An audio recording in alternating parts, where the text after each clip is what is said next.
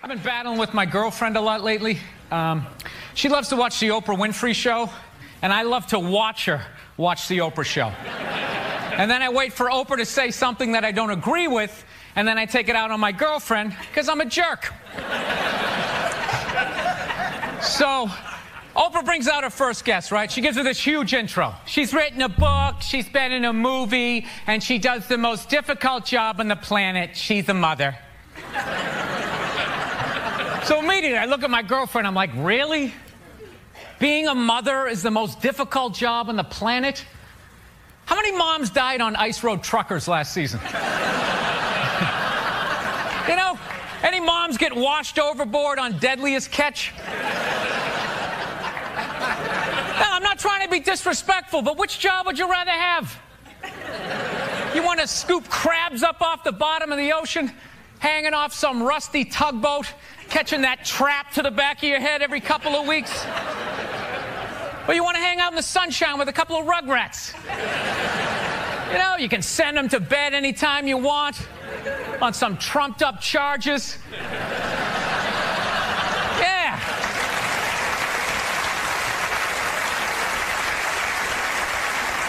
Trumped up charges, yeah, because you want to have a drink and watch The Price is Right. I don't know, maybe I'm wrong. No, maybe, maybe it is. Maybe it is the most difficult job. I mean, I thought roofing in the middle of July is a redhead. You know? I, th- I thought that that was a difficult job. But evidently, these mothers, they're bending over at the waist, putting DVDs into DVD players. I don't know how they do it. How do they do it? Oh, the way they push that stroller with the round wheels. And the baby in there. It's the most difficult job on the planet. Going to war pinned down by a sniper. What a joke! It's a joke.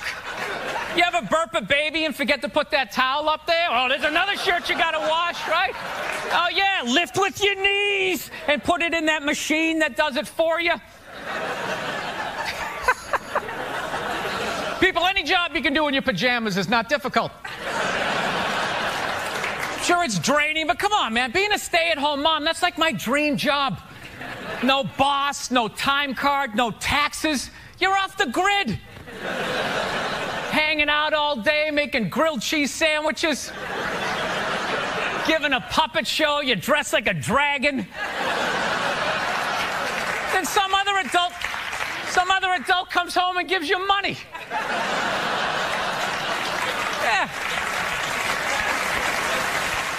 about parenting in the 70s, and that's, you know, that was when I was parented like you. What do you think of parents now? How do you compare them to parents in the 70s?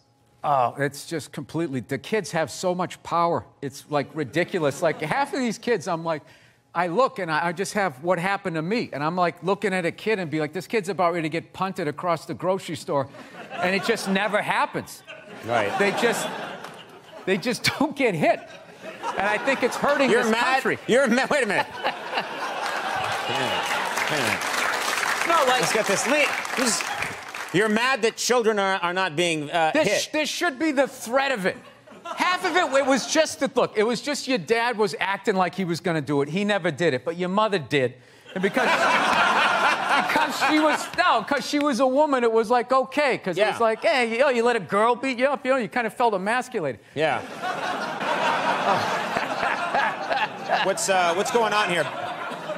Did I you know- did you buy Alexa? No, I don't know why people would voluntarily bug your own house. Like, do you think you're the only one listening in on that? You never saw Weird Science, how creepy these nerds are? All these cameras on your phone, all of that. Do people go on Ancestry.com? Why would you send your saliva into the internet? Why would you do that? Why don't you just go to the Illuminati and help them build your robot replacement? you know, you're already. Yeah. I don't understand it. Look, I get if, if, if you're like African American, you know, yeah, they, they made them change their names, you don't know where you're from. But if you're white, I just, it's the most arrogant thing ever. Like, you know what you are, basically, don't you? Like, how full of yourself are you? Like, I just have to figure out this recipe because I am a hoot. 2% Portuguese, I knew I liked peppers too much. Very good to see you. Congratulations on the baby. You just had the baby, right? Yeah, little uh, Friday morning. Friday morning. I didn't. I didn't. My wife did. I Right, didn't. yeah. Uh, I didn't do anything. I felt unbelievably useless.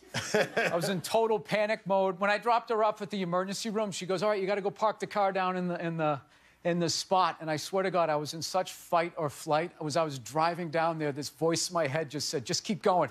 Just keep going. Just drive away." Which of course I wouldn't, but I started laughing.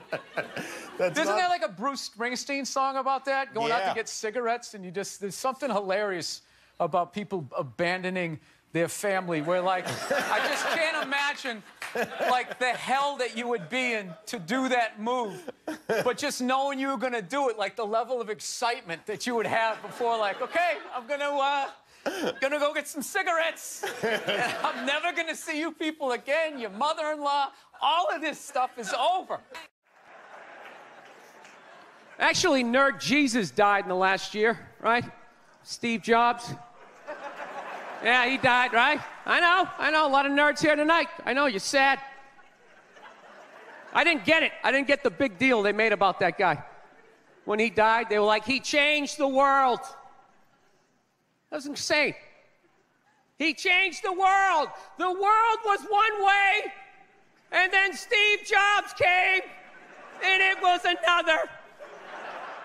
What did he do? Somebody, for the love of God, what the fuck did that guy do? What did he do? He told other people what to invent? I want my entire music collection in that phone. Get on it! Right? And then these poor, nameless, faceless scientists got to go in a back room and figure it out. How the fuck are we going to get all of this into this? I mean, what year does this guy think this is? This is crazy. This is like Buck Rogers. Dude, my kid has a birthday in like 11 months. Steve Jobs just walking by. I don't hear any thinking going on in there. Just strutting around the office, eating some pretentious fruit like a pear. Right? Just throwing out ideas. There's another one. There's another one I just came up with on the way to work. I was reading a magazine the other day, turning pages, you know?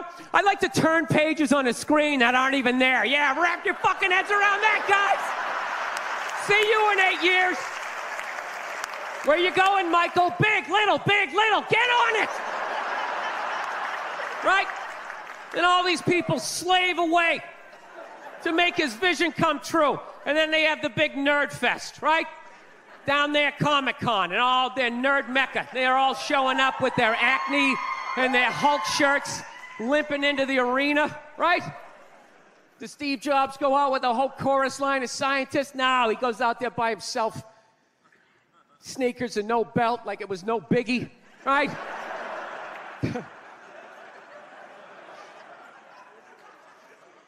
like he's like he's Tesla tapping into the atmosphere. I know, this is always uncomfortable. I know, you bought into it, right?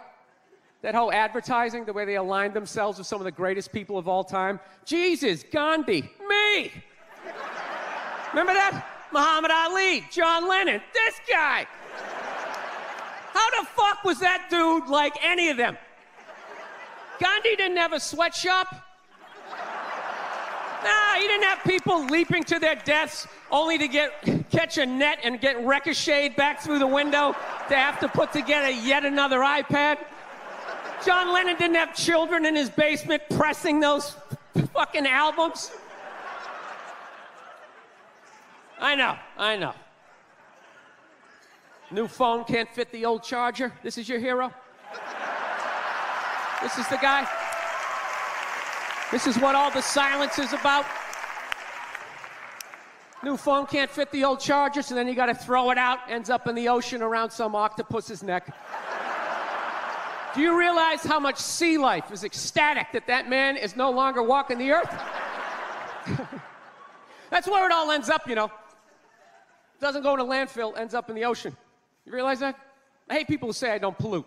I don't pollute. Yeah, you do. You use shit and you throw it out. Do you think? Because you put in like a basket, it just poof disappears? Everything he ever used is somewhere. You ever think about that?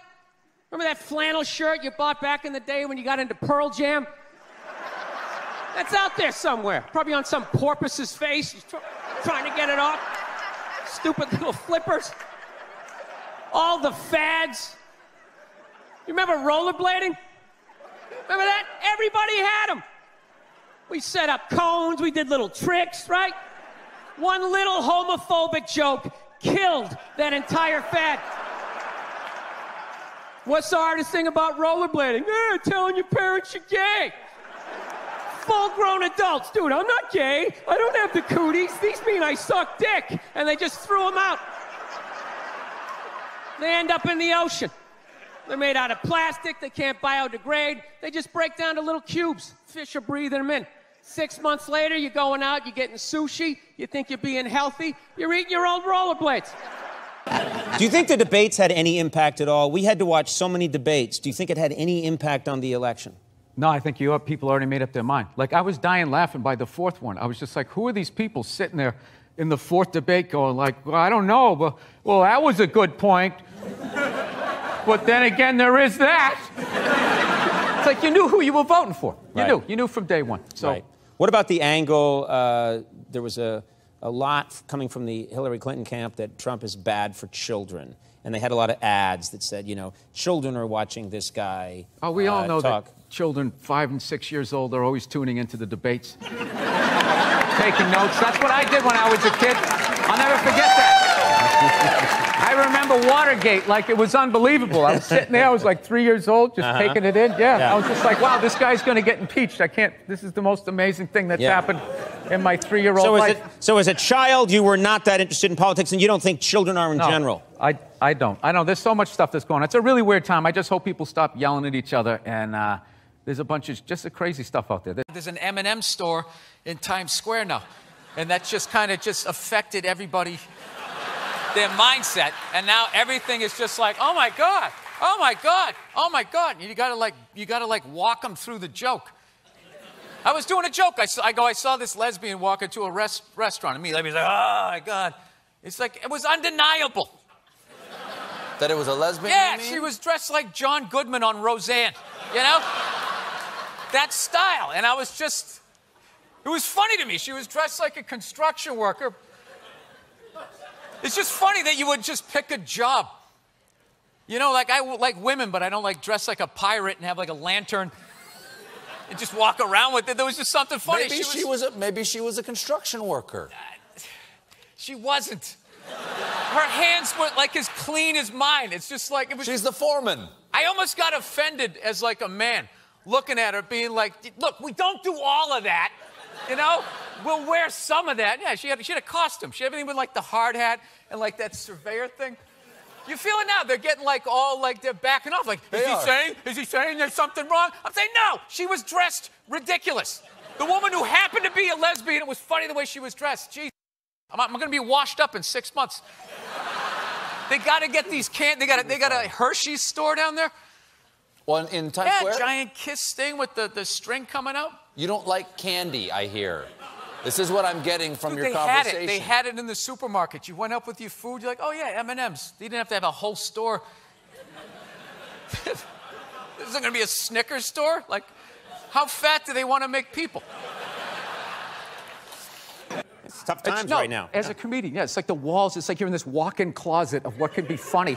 And meanwhile, there's like a swirl of trash with every toothbrush he ever used spinning around the Pacific Ocean. Nobody cares. God forbid you tease the Navy a little bit, and people have like, like a conniption. Well, what did you say about the military that got people so mad, or this one guy so I was mad? just saying, like, yeah, the guy who flies the fighter jet, okay, and has missiles shot at him, that guy's a hero. However, if you're the guy that like points in the direction that the plane takes off in, you know what I mean? We're, we're kind of, we're kind of watering down what is heroic behavior. You don't think that guy, the guy who points in the direction, is Yeah, the guy doing Warrior One, like the yoga pose. like the battlefield is that way. No, but everything has just become that. It's just become like this, Right. like, uh, this, you know, that whole first responder thing. You know, all these like code words you have to say. It's so stupid. I'm a first responder. I love that one. It's like, dude, I called you. I saw the fire. what am I? What do you have, like ESP? We just want to thank our first responders, and just everything has just become. Uh, uh, uh. It drives me